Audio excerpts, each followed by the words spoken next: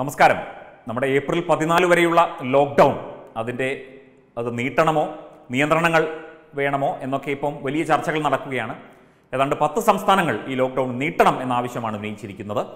കേരളം അതിന്റെ ചർച്ചകൾക്കൊക്കെ ശേഷം തന്നെ അതിന്റെ ബാക്കി പറയുമായിരിക്കും.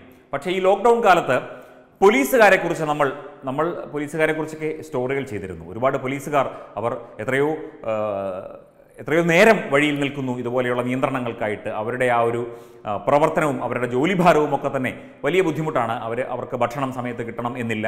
അതുപോലെ തന്നെ വെയിലായാലും മഴയായാലും ഒക്കെ ജോലി ചെയ്യണം. അപ്പോൾ ലോക്ക്ഡൗൺ നീട്ടരുതേ എന്ന് പ്രാർത്ഥിച്ചുകൊണ്ടാണ് കേരളത്തിലെ പോലീസുകാർ നിൽക്കുന്നത് എന്നാണ് നമ്മുടെ ചില പോലീസ് സുഹൃത്തുക്കൾ പറയുന്നത്. അവർക്ക് സമയത്ത് വീട്ടിൽ പോകാൻ പറ്റുന്നില്ല. വീട്ടിൽ പോയാൽ തന്നെ അവർ ഒരു ക്വാറന്റൈൻ രീതിയിലാണ് കഴിയുന്നത്. കുട്ടികളുടെ അടുത്തേക്ക് എത്താൻ പറ്റുന്നില്ല. അതുപോലെ തന്നെ എത്രയോ നേരം ഈ വെയിലത്ത് നിന്നിട്ട് അവർക്ക് അതിന്റെതായ ശാരീരിക ബുദ്ധിമുട്ടുകളുണ്ട്.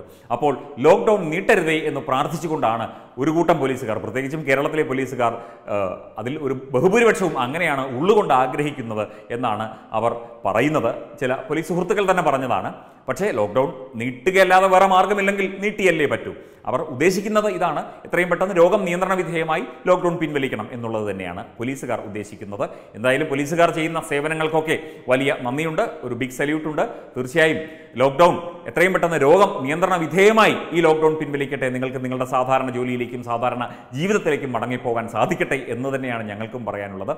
എന്തായാലും മാധ്യമ സമൂഹത്തിന്റെ പിന്തുണ തീർച്ചയായും കേരളത്തിലെ പോലീസുകാർക്കുണ്ട് ആരോഗ്യ പ്രവർത്തകർക്കുണ്ട് ഡോക്ടർമാർക്കുണ്ട് മറ്റ് സന്നദ്ധ പ്രവർത്തകർക്കുണ്ട്. എല്ലാവരും നല്ല രീതിയിൽ തന്നെ അവരുടെ റോൾ അവരുടെ പങ്ക് നിർവഹിക്കുന്നുണ്ട് ജോലികൾ ചെയ്യുന്നുണ്ട്. ഒപ്പം ഞങ്ങളും ഞങ്ങളൊക്കെ വർക്ക് അറ്റ് ഹോം ആണെങ്കിലും ഞങ്ങൾ കൃത്യമായി വാർത്തകൾ നിങ്ങളുടെ മുന്നിലേക്ക് എത്തിക്കുവാനുള്ള തീവ്ര ശ്രമത്തിലാണ് ഞങ്ങളുടെ ടീമുകൾ വിവിധ ഭാഗങ്ങളിലായി കേരളത്തിന്റെ വിവിധ ഭാഗങ്ങളിലായി അവരവരുടെ വീടുകളിൽ ഇരുന്നാണ് വാർത്തകളും മറ്റും തയ്യാറാക്കി അത് നിങ്ങളുടെ മുന്നിലേക്ക് എത്തിക്കുന്നത്. അപ്പോൾ പോലീസുകാർക്ക് ഏതായാലും സമാധാനമാകട്ടെ ഉടൻ തന്നെ രോഗം നിയന്ത്രണ വിധേയമാകട്ടെ നമ്മുടെ രാജ്യത്ത്. ലോക്ക്ഡൗൺ എത്രയും വേഗം പിൻവലിക്കട്ടെ. പോലീസുകാരുടെ ഈ ബുദ്ധിമുട്ടും കഷ്ടപ്പാടുമൊക്കെ എത്രയും പെട്ടെന്ന് മാറട്ടെ എന്ന് മാത്രം ഈ ഒരു അവസരത്തിൽ പറയുന്നു.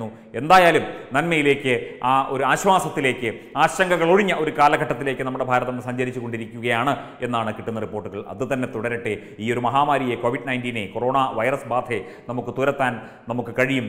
അതുപോലെ തന്നെ അക്ഷീണം പ്രയത്നിക്കുന്ന ഈ പോലീസുകാർക്കും അതുപോലെയുള്ള സന്നദ്ധ പ്രവർത്തകർക്കും ആരോഗ്യ പ്രവർത്തകർക്കും മറ്റെല്ലാ മേഖലകളിൽ സമൂഹത്തിന് വേണ്ടി പ്രവർത്തിക്കുന്നവർക്കും എല്ലാം ഒരു വലിയ അഭിനന്ദനത്തിന്റെ ഒരു വലിയ പൂച്ചെണ്ട് അർപ്പിക്കുന്നു. എന്തായാലും നല്ലത് മാത്രം സംഭവിക്കട്ടെ എന്ന് ഒരിക്കൽ കൂടി പറഞ്ഞുകൊള്ളുന്നു. വെബ് ഡെസ്ക് തത്തുമൈ ന്യൂസ്. നിങ്ങൾ പാടാൻ കഴിവുള്ള ആളാണോ? എങ്കിൽ ഒരു പാട്ട് പാടി ഞങ്ങൾക്ക് അയക്കൂ.